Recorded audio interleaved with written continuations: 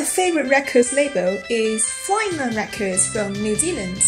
Formed in 1961, Flying Nun Records is famous for bringing attention to the music scene in Dunedin, New Zealand, notably the Dunedin sound, a jangle pop sound of lo-fi experimentation and a strong influence of the Young Underground. Representative Flying Nun bands are The Clean, The Verlaines, The Chills, Dwarfs, and The Jean-Paul Sartre Experience.